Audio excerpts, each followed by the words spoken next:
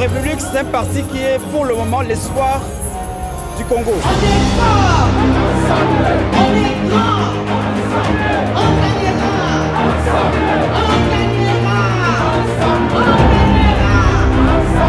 on gagnera, on gagnera. Seigneur notre Dieu, nous te louons en ce dimanche. Qu'est-ce que je peux dire encore au Seigneur?